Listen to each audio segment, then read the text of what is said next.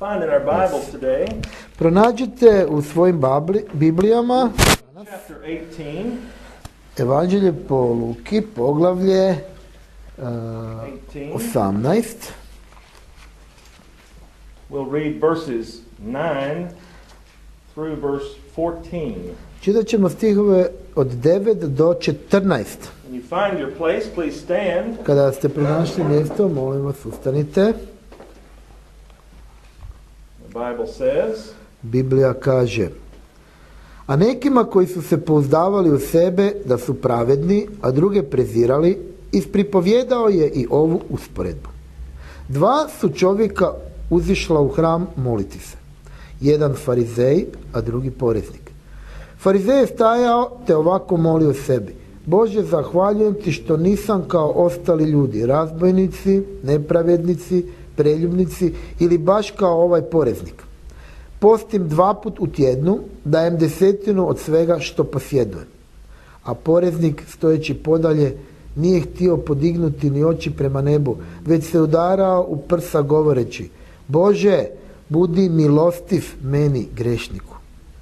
Kažem vam, ovaj je opravdan sišao svojoj kući, a ne onaj. Jer svaki onaj koji se uzvisuje, bit će ponižen, a onaj koji se ponizuje, bit će uzvišen. Amen. Molimo se. Heavenly Father, Oče nebeski, thank you for the opportunity to be in your house today. hvala ti za mogućnost da smo u tvome domu danas. And thank you for your word. I hvala ti za tvoju riječ. And thank you for the opportunity to preach today. I hvala ti za mogućnost da propovijedam danas.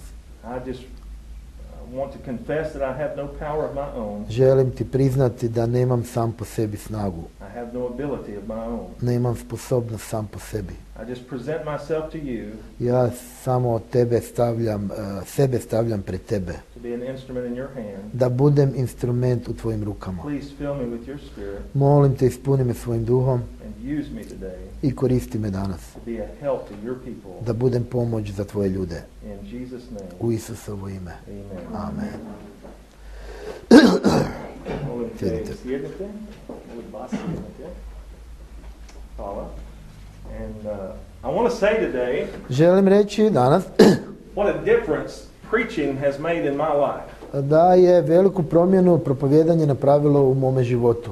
Being in church is so important. Biti u crkvi je tako važno hearing the preaching of the Word of God. i slušati bo, pripovjedanje, propovijedanje iz Božje riječi je tako važno. I know what it's done for me. Ja znam što je to značilo ili učinilo meni. The Bible tells us Biblija nam govori that uh, God's desire da je Božja želja is that we be conformed to the image of His Son. da budemo suobličeni slici njegovog sina. And we sing songs about being yielded to the potter, Znači mi budem, mi pjevamo pjesme da budemo znači uh, uh, da, da iz- izgledamo uh, da nas oblikuje poput posude, znači da budemo posude koje on može oblikovati da budemo poput njega. And that's what being in church and hearing the Word of God does. I to je ono što crkva i slušanje Bože riječi može učiniti. I should say that's one thing it does. To je jedna stvar koju Helps čini. us to be molded into the image of Christ. Pomo, pomaže nam da budemo suobličeni slici Isusovoj. When we look into the Word of God, Kada gledamo uh, riječ Božju, it's like a mirror that can show us more about ourselves. to je više nego dok se gledamo u ogledalo i to nam govori o nama samima. And it can help us to understand ourselves better I to nam pomaže da možemo sami sebe bolje razumjeti. and help us to know what we need to be aware of in our own life I pomože nam da možemo vidjeti što moramo raditi u svome životu, mijenjati. so that we can avoid the things that would help us to fall Znači da možemo izbjeći stvari koje nam e, prijete da padnemo. and we can do the things that I da činimo stvari koje ugađaju Bogu. I da nam to pomogne da živimo za njega. Ja znam u svom vlastitom životu that preaching has made a huge difference for me. da je propovjedanje napravilo veliku promjenu u meni. And it's, it's not often that one message will be a life-changing message, E, Nije, nije često tako da će jedna poruka biti nešto što će ti promijeniti život. but from each message we hear, ali od svake poruke koju mi čujemo we should be able to get something that helps us a little bit. trebamo uzeti nešto što nam malo pomaže. As God works on us I onda kada Bog radi u nama, to conform us to the image of Christ, da nas oblikuje na slici Krista, prema slici Krista. sometimes He has to Ponekad nešto treba maknuti, odsjeći pressure ili malo pritisnuti na ovu stranu ili na ovu stranu. And I know how my heart has felt I ja znam kako je se moje srce osjećalo when I hear the preaching of the Word of God kada sam čuo propovjedanje Bože riječi. and I see things about myself. I onda sam vidio stvari koje se mene tiču, that need to be worked on. na kojima trebam raditi. And I know what a difference it's made for me. I ja znam kakvu je to veliku promjenu napravilo za mene. I wanted to say those things to you this morning Želim vam reći ove stvari ovog jutra, so that you won't think the message da ne mislite da poruka is because of some specific knowledge I have je zbog nekakve posebne, posebnog znanja koje ja imam about some big problem u vezi nekakvih velikih problema ovdje u crkvi. Because I don't believe that. Zato jer ja ne vjerujem da tu ima But problema. out of this message, Ali iz ove poruke, if you are like me, ako si ti poput mene, you can pick up some tools možeš eh, pokupiti nekakvo oruđe to help you live a better life for Christ. koje će ti pomoći da živiš boljim životom za Krista. To help you have the right kind of thoughts, Tako da imaš ispravan način razmišljanja, the right perspective toward other people, da imaš eh, dobru perspektivu gledanja na druge ljude and the right perspective toward yourself. i naravno da isto tako gledaš i na sebe. Notice the story. Eh, Primijetite ovdje u ovoj priči, Jesus said in verse number 9, Isus je rekao u stihu 9, it says he began a parable in verse number 9, znači u stihu 9 kaže da je počeo tu jednu usporedbu. And it was it was directed toward people i ona je bila direktno upućena za ljude who trusted in themselves that they were righteous koji su se pouzdavali u sebe da su pravedni, and despised others. A druge prezirali. I'm not preaching this this morning Ne propovijedam ovog jutra because I think we have people here that despise others e, zato što mislim da imamo ovdje ljude koji preziru druge or because we have people that think they're righteous ili, themselves. ili da mislim da ovdje ima ljude koji misle da su sami po sebi pravedni. All of us in here E, Svi mi ovdje know the Bible verse e, znamo biblijske stihove that says all have sinned and come short of the glory of koji God. kaže svi su sagrešili i ostali su bez slave Božje. And we understand that. I mi to razumijemo. But this is directed toward people Ali ovo je upućeno ljudima that in that day koji su bili u to, u to vrijeme, u tom tim danima. they honestly believed their own righteousness was good enough for God. Oni su iskreno vjerovali da njihova vlastita pravednost je dovoljna pred Bogom. Now, although we know that that is not true, Mi znamo da to nije točno, to nije istina. sometimes we can still get a thought in our mind Ponekad mi možemo isto dobiti neku misao, pojaviti se neka misao u našim mislima that kind of moves us in that direction. koja nas kreće prema tom smjeru. And that's why I say the preaching of the Word of God I zato sam rekao da je propovjedanje Bože riječi might have to just apply a little bit of pressure on this side može malo staviti pritisak na ovu stranu to help us walk in the right way. tako da nam pomogne da hodimo po ispravnom putu. I doubt there's anyone in here. I doubt there's anyone in this Znači, sumnjam da je netko u ovoj prostoriji that thinks, you know, I'm righteous before God koji misle, o, ja sam pravedan pred Bogom, because I'm so good. zato jer sam ja tako dobar. I doubt that very seriously. Znači, nema sumnje u to, da ovdje ima tako. we must be on guard Ali moramo biti na oprezu, that we don't let ourselves begin to think things da ne dozvolimo sebi da počnemo razmišljati na taj način that go in that direction. i da odemo u tom smjeru. Our church has standards. Naša crkva ima standarde, There are things that we won't do neke stvari koje mi želimo činiti. because we believe we want to please God. Zato jer mi želimo ugoditi Bogu. There are things that we do Ima stvari koje mi činimo, because we want to obey God. zato jer želimo biti poslušni Bogu. But unfortunately, Ali nažalost, sometimes people can get the idea Ponekad ljudi dođu na nekakvu ideju, that because we have standards, zato što mi imamo standarde, because we don't do some things, zato što mi činimo nešto because we do other things, i zato što radimo druge stvari, that we're somehow better than somebody else. da smo mi onda bolji nego oni drugi. And we can begin to look down our nose at other people. I onda mi možemo, znači, dići nos, znači, pred drugim Maybe ljudima. not in a greatly arrogant way, Ne na nekakav arogantan način, but maybe just a little bit ali možda malo, malo, malo. So maybe we just need a little bit of pressure I onda moramo malo opet da nas se pritisne, to reveal to ourselves maybe those thoughts that we've had da otkrijemo, da razumijemo da ti, da ta razmišljanja koje smo imali, that we can get on the right track da ih treba staviti na ispravni and, smjer. and continue the process I onda nastaviti taj e, postupak. of being conformed to the image of Christ. Da budemo suobličeni slici Krista. The other thing we have to be on guard about I još jedna druga stvar u kojoj vezi koje moramo biti na oprezu i stražariti. Znači, svi smo mi na različitim e, mjestima u našem hodu s Bogom, na različitoj poziciji i nivoima. Some church members have been saved longer than others. Neki crkveni članovi su, su spašeni duže nego neki drugi. And some have been serving the Lord faithfully I longer neki, than others. I neki služe Bogu vjernije nego drugi. And sometimes the people that have been saved longer, I onda nekad ljudi koji su spašeni duže, they can begin to think they're a little bit better than the person who just got saved. i oni misle pa ja, onda su oni malo bolji od one osobe koja je tek bila spašena. And those who have been serving longer I onda oni koji služe duže, can sometimes begin to think that they're a little bit better than others because of what they've done. da oni mogu počnu razmišljati da su oni malo bolji od drugih zbog onoga što oni čine. And that's why I say the Word of God is like a mirror, I zato sam rekao da je Božja riječ poput ogledala. Because we we look at this Kada se onda tak pogledamo, like I look at the mirror in the morning when I wake up, i to isto kao da se pogledamo jutro kad se probudimo u ogledalo, prestrašno je.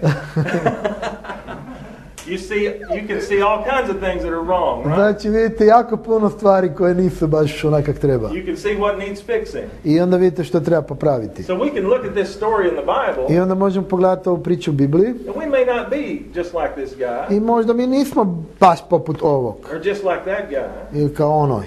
but we can see some things in ourselves Ali mi možemo vidjeti neke stvari za sebe that might help us to do a better job koje nam mogu pomoći da napravimo još bolji posao. living for the Lord Živeći za gospodina and living in obedience to Him i biti u poslušnosti, znači biti mu poslušan and reaching others. i dosezati druge. And that's what I want to talk about this morning. I o tome želim uh, govoriti ovdje. Let's look in the mirror Pogledajmo u ogledalo and get some idea i e, nek nam neka ideja dođe that can help us live a better life. koje nam može pomoći da živimo boljim životom. Coming to church is like being equipped for service. Getting equipment you need for Aha. service. Znači, e, dolaziti u crkvu, znači kao uzimati nekakvo oružje koje ti pomaže, znači u službi. If you have a job, for Znači, example, opremu neku. they, they oruđe. sometimes can supply you certain tools, A or you ponek- bring your own. Ponekad ti možeš, e, e, možeš dobiti, obskrbite neko sa, nekom, sa nekim oružjem, oruđem, Brother Synod is a mechanic. E, ili e, brat Senad je mehaničar. To do that job, you must have tools. Da bi taj posao radio, moraš imati oruđe. Alat. works at a, a tire uh, place. E, Znači, e, e, Dalen radi tamo gdje se gume minjaju. They have to have tools to do their job. Isto mora imati tamo alat da bi to napravio. We need to live for God. I mi trebamo živjeti za Boga And we need to be equipped to do that. i moramo imati opremu, the obskrbiti Word se. of God can equip us. I znači Božja riječ nam može dati tu opremu. So let's look at the story together I pogledajmo ovu priču zajedno see if there's something we can learn from it. i da vidimo da li nešto iz toga možemo naučiti. This says in verse number 10 two men went up to the temple to pray. Kaže, dva su čovjeka uzišla u hram moliti se. One was a Pharisee Jedan farizej, and the other a publican. a drugi poreznik. Let's look and see what a Pharisee was I e, pogledamo kakav je bio e, farizej, tko je bio. Hold your place there Zadržite ovdje mjesto and look at Matthew chapter 23. i pogledajte Mate 23. Jesus was addressing the Pharisees Ovdje je Isus govorio o farizejima and he was describing i on ih opisuje what they were like. kakvi su oni. And we can see that right here. I ovo i to možemo vidjeti upravo ovdje. We want to read Čitat chapter ćemo. 23, Iz poglavlja 23, verses 1 through 15, 1 do 15. and we will see a lot of things I vidjet ćemo mnoge stvari that Pharisees were doing. koje su farizeji činili We'll see how they were thinking i kako su razmišljali. so we can put ourselves in the mind of this man who was praying that day. I onda možemo znači razumjeti tog čovjeka koji je molio taj dan. Verses 1 through 15 of Matthew 23, the Bible says, Tada je Isus progovorio mnoštvu i svojim učenicima rekavši Pismoznanci i farizeji sjeli su na Mojsijevu stolicu. Sve dakle što vam kažu da držite, to držite i činite. Ali ne činite po njihovim dijelima, jer govore, a ne čine.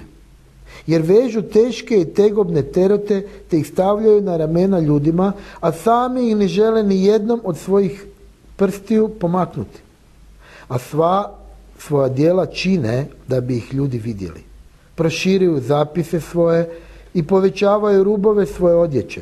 I vole pročelja na gozbama i prva sjedala u sinagogama. I pozdrave na trgovima i da ih ljudi nazivaju rabi, rabi. Ali vi se ne nazivajte rabi, jer jedan je vaš učitelj Krist, a vi ste svi braća. I nikoga na zemlji ne nazivajte svojim ocem, jer jedan je vaš otac koji je u nebu. Niti se nazivajte učiteljima, jer jedan je vaš učitelj, Krist. Ali najveći među vama nek vam bude sluga. I tko sebe uzvisuje, bit će ponižen. A tko se ponizi, bit će uzvišen. Ali ja o vama, pismoznajci i farizeji, licemjeri, jer vi zatvarate kraljevstvo nebesko pred ljudima. Jer ni vi sami ne ulazite, niti onima koji ulaze ne dopuštate ući. Ja o vama, pismoznanci farizeji, licemjeri, jer vi proždirete kuće udovica i petvarajući se dugo molite. Zbog toga ćete primiti veću osudu. Ja o vama, pismoznanci i farizeji, licemjeri, jer vi obilazite morem i kopnom da pridobijete jednog prozelita, a kad je to postao, učinite ga djetetom pakla, dva put gorim od sebe. Unbelievable, isn't it? Nevjerojatno, zar ne?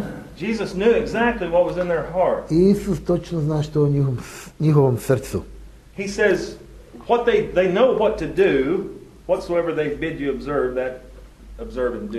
Znači oni znaju što čine, They knew what the Bible said. oni znaju što Biblija govori.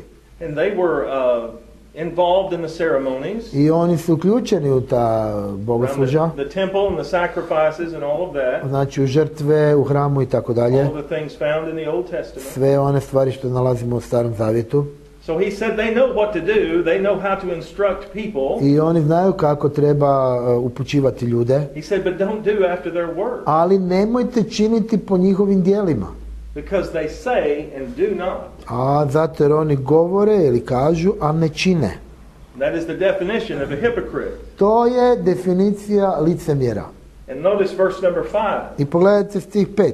All of their works they do to be seen of men. A sva svoja djela čine da bi ih ljudi vidjeli. Now that's something that uh, people have a problem with nowadays. I to je znači nešto s čim e, ljudi imaju problema. Uh, we, if, if something good happens in Croatia, Ako se nešto dobro dogodi u Hrvatskoj somebody gets saved, i ako je neko spašen, we want people to know about that. mi želimo da ljudi znaju za to. But why do we want people to know about it? A zašto mi želimo da ljudi znaju za to? We want people to know about it because look what God did. Look how great it is. Zato jer želimo da ljude vide kakav je Bog, što Bog radi. But it's real easy because of this flesh, Ali je vrlo lako zbog ovog našeg tijela, this sinful flesh, ovog smrtnog tijela, to slip just a little bit grešnog tijela, da malo znači skliznemo and uh, want people to think, look at what I da želimo da ljudi misle, evo pogledajte što sam ja napravio. When I come up here to preach, Kada ja dođem ovdje propovijedati, I always want to remember to tell God when I pray i ja uvijek želim reći Bogu kada molim, and tell you right in front of you i to naravno ispred tebe, that I have no strength of my own. da ja nemam snagu sam po There's sebi, nothing good in me da nema ništa dobrog u meni, except for the Holy Spirit of God. osim Duha Svetoga I Božja. want God to know every day. Ja znam da I I want- want God every day to know ja znam da, da Bog to zna svaku dan, that I cannot live without Him. da ja ne, ne mogu živjeti bez njega. And when I pray up here in front of you, I kada ja molim ovdje pred tobom, I confess that I have no power of my own. priznajem da nemam snagu sam po sebi. I am nothing. Ja sam ništa, God is everything. Bog je sve. But it's easy Ali je lako in this wicked flesh u ovom e, pokvarenom tijelu, to begin to desire the praise of men. tako da, e, da počneš tražiti, da počneš željeti slavu od ljudi. And it's something that God obviously does not like. I to je vrlo očito da to Bog ne voli, to se Bogu ne sviđa. We need to guard against that. Mi se trebamo boriti protiv toga. Notice verse 5. Pogledajte stih 5. It says, They make broad their phylacteries and enlarge the borders of their garments. Kaže, proširuju zapise svoje, i povećavaju rubove svoje odjeće. The phylactery, what, what's the word? E, zapisi. Okay. That was a little box containing a, a segment of the law of Moses. Znači, to su male bile kutice gdje su se e, bile unutra upisane dijelovi e, Mojsijevog zakona. And it was supposed to be a reminder to meditate on the law of God Znači- day and night. To je trebalo njih e, podsjećati da e, meditiraju, promišljaju o Božjem zakonu svaki dan, danju i noću. And I've seen pictures of Jewish people I vidio sam slike e, židova, wearing these on their wrists oni to stavljaju znači kao nekakvu, znači namotaju tu oko ruke at a time of a ceremony of some sort. i znači kad imaju te, te vrste seen bolesti. I stavljaju isto to na glavu, to je iz Mojsijevog zakona. But Tu that na was supposed to čelo. be a reminder I to bi trebalo biti nešto što ih podsjeća the law of God. da razmišljaju o Božjem zakonu dan i noć. But it said they enlarged these things Ali e, ovdje kaže da su oni povećavali te zapise. And tried to stvari. use it as a mark of holiness. I onda su pokušavali to koristiti kao znakove svetosti. So instead of this little box, I umjesto tog malog, znači male te nekakve zapise this. oni su nešto veliko napravili, ogromno stavili. Znači čim je to veće, ja sam bolji. but I'm just exaggerating for the sake of making the point that it's easy to want people to look at us. Znači to da onda drugi ljudi lakše pogledaju na nas. If I had a headband with something this large attached to Ako it, imam nešto jako veliko tu na čelu gore, that would be because I wanted people to think I was a holy man. to je zato jer znači da ljudi vide da sam ja sveti. So they made broad their phylacteries. Znači oni su znači proširivali te It svoje says they zapise. enlarged the borders of their I kaže povećavali su rubove svoje odjeće. Now they were instructed in the law of God in the Old Testament Znači ima tamo upute u Božjem zakonu u Starom Zavjetu. they were to put a blue border Znači da se moralo staviti plavi e, modri obrub around their garment oko odjeće. So that people would know Tako da će ljudi znati that they were Jewish da su oni židovi and uh, they were serving the Lord. i da oni služe gospodu. It was a mark to wear. To je bio znak, znači. But what they began to do Ali ono što su oni počeli raditi, was make big racing oni su počeli sve više i veće to povećavati. and uh, basically so that people could see from a distance even. Tako znači da su ljudi to mogli vidjeti iz velike daljine. Look who I am. Pogledaj tko sam ja. I'm a big holy man. Ja sam sveti All čovjek. their works to be seen of men. Znači sve su to radili da bi ih ljudi vidjeli. And it said they loved the chief seats in the synagogue I kaže da su voljeli prva sjedala u sinagogama. and the uppermost rooms at feast, verse number six. Iz tih šest vole pročelja na gozma prva sjedala u sinagogama. And it says in verse number eight, look at it says, be, be ye not called rabbi, for one is your master, even Christ. and all ye are brethren. Verse number Ali vi se ne nazivajte rabi jer je, je, jer je- jedan je vaš učitelj Krist, a vi ste svi braća. And no- notice in verse number 9, I stih 9. call no man your father upon the earth, I nikoga na zemlji ne nazivajte svojim ocem, for one is your father which is in heaven. jer jedan je vaš otac koji je u nebu. Is there a denomination that you're familiar with Da li ti je neka denominacija poznata u vezi toga, u vezi tog stiha? where some people dress a certain way Da se neki ljudi oblače na taj način and everyone calls them father? i svi ih nazivaju oče. It says right here that that's not to be the goal or the desire. Upravo ovdje kaže da to ne treba biti cilj. Don't be called rabbi or father. One is your master. Nemojte da vas nazivaju uh, uh, učiteljem jer je jedan vaš And učitelj. look at verse number 11. I pogledajte stih 11.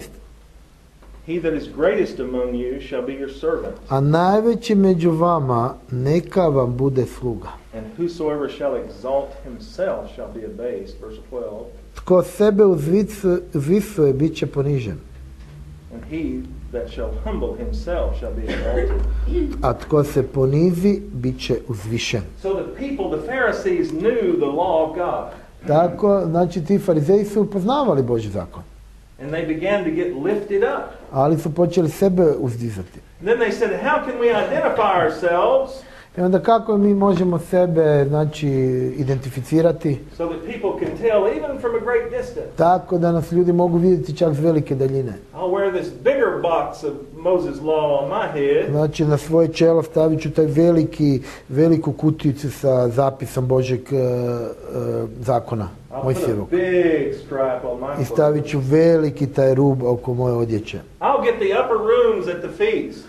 I onda ću ići tamo na gozbama, u pro, sjedit ću u pročeljima dok su gozbe. I'll have the common people saying, Hello, Father, hello, Father. Želim da obični ljudi dolaze i kažu e, dobar dan oče, bok oče.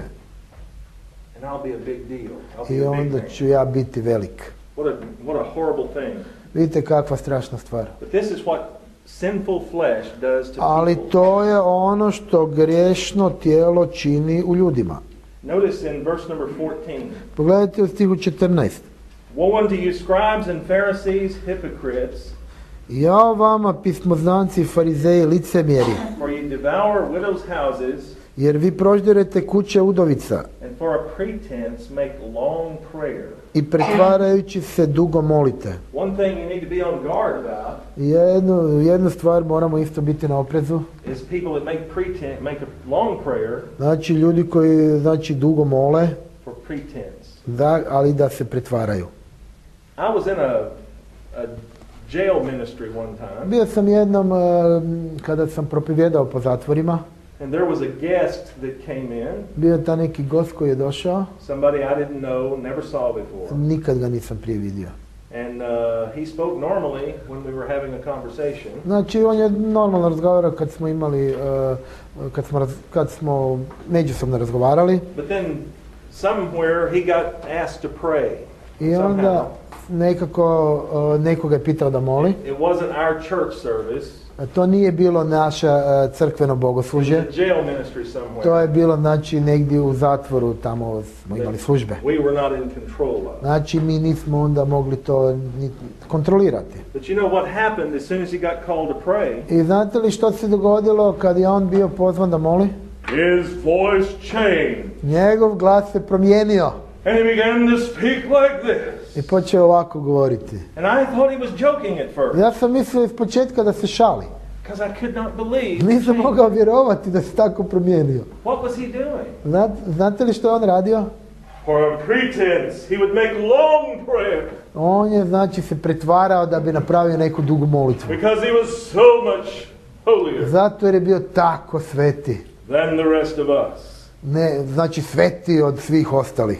That is such an ugly thing. To je jako ružna stvar. I don't think there's anybody in this room that would do that. Ja znam da nitko u ovoj prostoriji tako nešto ne bi radio. But what we need to be careful of Ali u vezi čega moramo biti oprezni? is never to lean that direction. Da nikad ne dopustimo da odemo u tom smjeru. When I pray in public, Kada ja molim u javnosti, sometimes ponekad, I catch myself ja uhvatim sebe worrying about what the people in the room are going to think. E, razmišljajući što će, e, što ljudi u prostoriji će ovoga razmišljati o tome. All I really need to be concerned about Ali u stvari ono u čega ja treba, u vezi čega ja trebam biti zabrinuti je, je ono što Bog misli o tome. So see, I'm not I'm not up here doing this, Ja neću raditi but I can catch myself ali mogu se uhvatiti worried about what somebody's going to think. da, e, e, da sam zabrinut u vezi onoga što će neko drugi misliti u vezi te molitve. Other than God. E, Prije nego što će Bog misliti. When we're when we're praying, Kada molimo, we're talking to God. mi razgovaramo s Bogom. Everything else needs to be blocked away. blocked Sve ostalo i nije bitno. So you see what I mean? Vidite što, o čemu razmišljam. No one is speaking this way. Nitko možda ne govori ovako, But we can have a tendency to worry ali mi možda imamo tu neku tendenciju da smo zabrinuti about what people think u vezi onoga što drugi misle. when we should worry about what God thinks. A trebali bi biti zabrinuti u vezi onoga što Bog misli. Let's look quickly. Sada pogledamo ponovo, Go back to Luke, vratimo se u Luku, Luke 19, poglavlje 19. 19. 19. Now we will see Sada what ćemo a vidjeti publican is. kakvi su bili e, ti poreznici. So the, two people that were praying in the church in the temple, Znači dva a, čovjeka koji su molili u hramu. one was a Pharisee, Jedan je bio farizej, the other was a publican. drugi je bio a, poreznik. What is a publican like? Kakav je bio poreznik? We look over at Luke 19, Pogledajmo a, Luka 19, and we can read verses 1 through 10, čitat ćemo stihove 1 do 10 and we can see exactly what a publican was like. i vidjet ćemo kakvi su bili e, znači poreznici. Luke 19, 1 through 10 says, Znači Biblija e, e, Evanđelje po Luki, pogledaj deva- 19, 1 do 10 kaže Zatim je Isus ušao u Jerihon i prolazio gradom. I evo čovjeka imenom Zakej koji je bio pročelnik poreznika, a bio je bogat. I nastoja je vidjeti tko je Isus, ali nije mogao zbog gužve jer je bio malen rastom. Tada je potrčao naprijed i popeo se na smokvu da bi ga vidio jer je tim putem trebao proći. I kad je Isus došao na to mjesto, pogledao je gore, opazio ga, te mu rekao, Zakeju, brzo siđi, jer ja danas moram boraviti u tvojoj kući. A on je brzo sišao i primio ga radujući se. A kad su to vidjeli, svi su mrmljali govoreći da je otišao u goste čovjeku koji je grešan. Tada je Zake ustao i rekao gospodinu, evo gospodine, polovicu svojega imanja dajem siromasima. I ako sam nekoga u čemu prevario, vraćam četverostruko. Na to mu je Isus rekao, danas je došlo spasenje ovoj kući, jer je i on sin Abrahamov. Jer je sin čovječi došao potražiti i spasiti ono što je izgubljeno. Amen. Amen. So you see, Zacchaeus was a publican. Vidite, Zake je bio poreznik. It says he was chief among the publicans. Kaže da je bio pročelnik poreznika. And uh, he was despised among his own people I on je bio prezren od svojih e, ljudi, had vlastitog naroda, done, jer ono što je on radio, the publicans were Jewish people znači e, ti poreznici su bili židovi who had gone to work for the Roman Empire koji su radili za, Rims, za Rimljane. to collect taxes from the Jewish people. Znači skupljali su porez od židova So they were looked upon as traitors, i znači, e, e, uh, people who had turned against their own country. znači to su kao izdajnice, tako je, znači izdajice oni koji su se okrenuli od svojih vlastitih naroda. So they were looked down on, first of all, I znači svi su gledali iz visoka prema njima, because they were working for the conquering government. zato jer su radili za tu jednu stranu okupac, okupacijsku vladu. But then on top of that, I onda n- na kraju toga in addition to that, because of the wicked flesh, i zbog tog, upravo zbog tog uh, uh, pokvarenog tijela, they saw this power that they had oni su vidjeli da tu snagu koju su oni imali, znači tu ovlast koju su imali da sakupljaju uh, od, uh, od ljudi novac and they began to abuse that power. i onda su oni počeli biti protiv toga. I'm sure not everyone was that way, Ne kažem da su svi bili takvi, but this was the the big thing to do at the time. ali to je bila velika stvar u to vrijeme. Notice verse number 2. I pogledajte stih 2. It says, among the, he was among the chief of the publicans, Znači bio je pročelnik poreznika, and he was rich. a bio je bogat. And uh, we know why he was rich I znamo zašto je bio bogat. when we look at verse number 8. Kada pogledamo stih 8, After Jesus had come to visit with him, nakon što ga Isus e, posjetio, it says, He stood and said, Lord, behold, the half of my goods I give to the poor. On je ustao i rekao gospodinu, evo gospodine, polovicu svog imanja dajem siromašnima.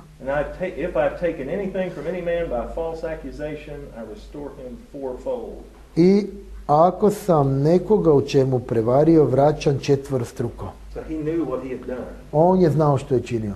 He knew that he had abused his power. Znači, on je znao da je zloupotrebljavao tu ovlast. But glory to God, Jesus said in verse number 9, Ali slava Bogu, Isus je rekao u stihu 9, danas je this day is salvation come to this house. došlo spasenje ovoj kući, For so much as he also is a son of Abraham. jer je i on sin Abrahamov. For the Son of Man has come to seek and to save that which was lost. Jer je sin čovječi došao potražiti i spasiti ono što je izgubljeno. And I wanted you to see something. Želim da nešto vidite ovdje. Verse number 7. Stih 7. When they saw it, they all murmured, saying that he was gone to be a guest with a man that is a sinner. A kad su to vidjeli, svi su mrmljali govoreći da je otišao u goste čovjeku koji je grešan. So you see the background. Vidite pozadinu toga. The Pharisee with his big robe and his big blue band Znači farizeji sa tim uh, uh, velikim obrubima, and his big box of the law of Moses znači velikim tim kuticama sa Božim zakonom na and čelu his desire to be praised by men. i sa željom da ih ljudi slave. And you see the publican on the other I side vidite p- poreznika s druge strane who abused his power koji zloupotrebljava tu ovlast and was seen as evil i vidi, iz, iz- izgleda i vidi se da je zao by his own people. i, o- i to drugi njegovi vide ljudi. These are the two men I ovo su ta dva čovjeka koji su zašli u hram moliti. we go back to chapter 18, I sad kad se vratimo ponovo u poglavlje 18, we can see what the the Pharisee said, vidimo što je farizej rekao verse number 11. u stihu 11. The Pharisee stood and prayed thus with himself Farizej je stajao te ovako molio sebi. God, I thank thee that I am not as other men are, Bože, zahvaljujem ti što nisam kao ostali ljudi. Extortioners, unjust, adulterers, or even as this publican. Razbojnici, nepravednici, preljubnici ili baš kao ovaj poreznik. You see what he's doing? Vidite što on radi ovdje? He's taking pride in what he does not do. Znači on je e, bio ohol u And that's what I was talking about earlier when we have standards. I to sam govorio i ranije kada mi imamo There are standarde. certain things we won't do E, ima neke stvari koje ne želimo činiti, because we want to please God. zato želimo ugoditi Bogu. These things can become a point of pride for us. Ali te stvari ne trebaju dovesti do oholosti u nama. we need to guard against that. I trebamo biti na oprezu u vezi toga. Jer poput ovog farizeja i mi možemo se uzoholiti reći pa mi to ne radimo. Mi ne bi išli tamo. Znači trebamo biti na oprezu u vezi toga. Notice what else he said, verse 12. Pogledajte dalje što kaže stih 12. Twice in a week. Postim dva put u tjednu. I give tithes of all that I possess. Dajem desetinu od svega što posjedujem. See, now he's taking pride in what he does do. Znači sada je on ohol u vezi onoga što on čini. So there's two points we can take pride in. Znači dvije su točke u vezi čega se možemo zaholiti. Those things we don't do Znači u vezi stvari koje ne činimo and the things that we do do. i u, stvari, i u vezi stvari koje ih čini, koje činimo. So he wants to brag to God about all he's doing for God. I znači možemo onda reći "E, sve to radimo radi Boga. And that's something that need to, we need to be cautious about I znači vezi toga moramo biti oprezni. and consider what God has done for us. I znači promotriti što Bog e, ima za nas. And the, we're running out of time this morning. I malo nam vrijeme izmiče. I wanted to say a little bit more about a certain subject, but I just want to mention it just now. A želim sada samo nešto spomenuti u vezi jedne teme. A big mistake he was making E, Velika greška koju on napravio is also, he said, And I thank you that I'm not like this guy over here. On je rekao, ja nisam poput ovog ovdje. He was comparing himself to another person. On je sebe uspoređivao s drugom osobom. And the Bible tells us that's not wise. Ali Biblija kaže da to nije mudro. What we need to always do is compare ourselves to God. Ono što mi uvijek moramo činiti, uspoređivati sebe s Bogom.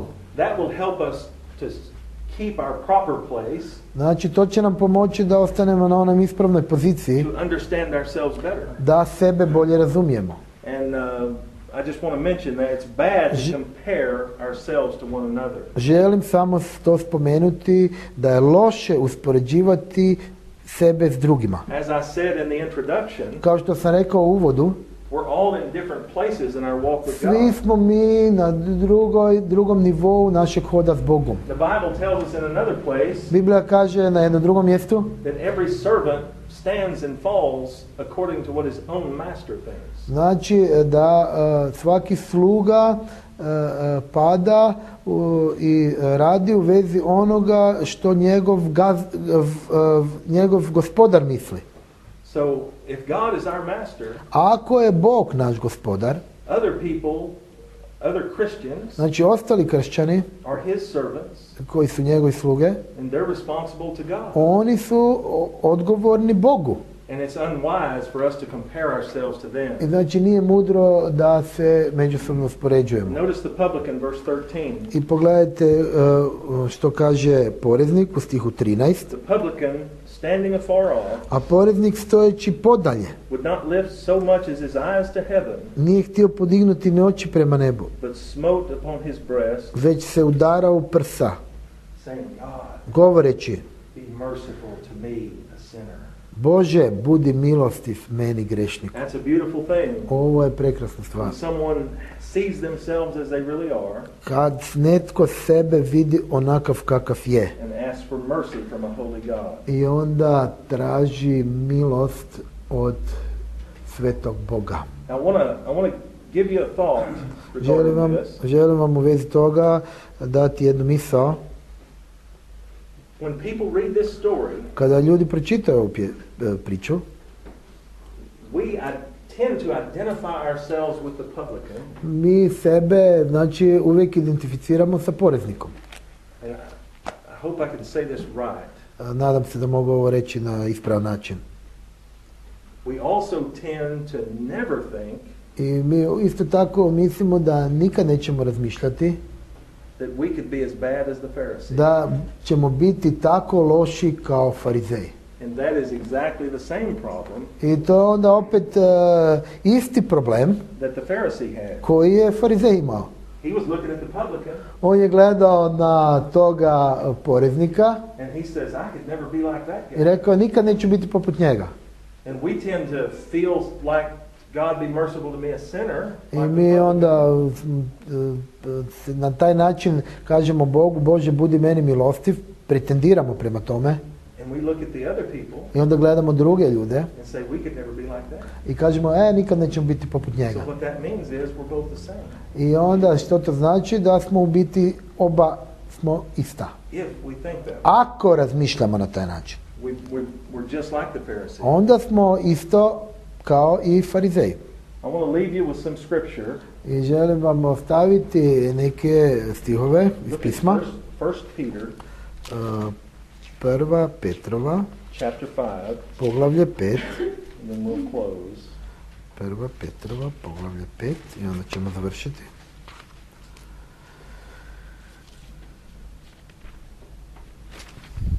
First Peter chapter 5. Prva Petrova, poglavlje 5. We want to read verses 5 through 11. Čitat ćemo stihove 5 do 11. Listen to this beautiful scripture. Slušajte ove prekrasne stihove. Biblija kaže Tako i vi mladići pokoravajte se starješima, a svi se podređeni jedni drugima odjenite poniznošću. Jer Bog se oholima protivi, a poniznima daje milost. Ponizite se dakle pod silnom rukom Božjom, da vas On uzvisi u pravo vrijeme. Svu svoju brigu bacite na njega, jer se On brine za vas.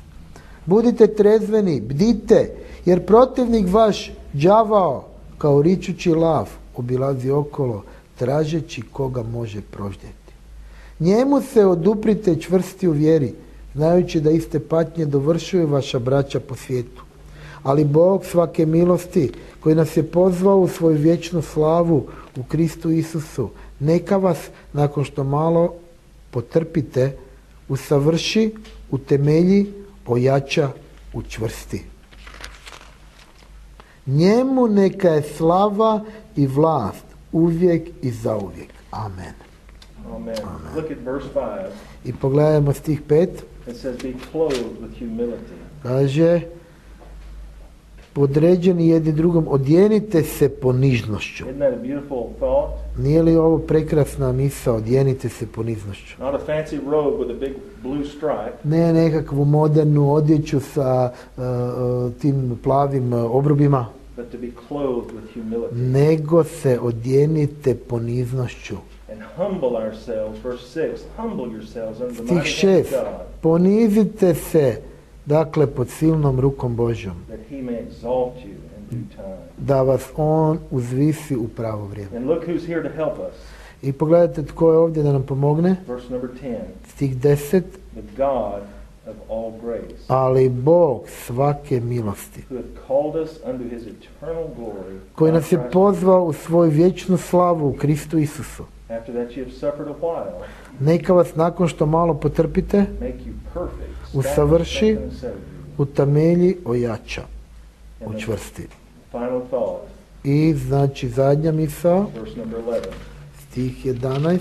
To him be glory and dominion forever and ever. Njemu neka je slava i vlast uvijek i zauvijek. Amen. Amen.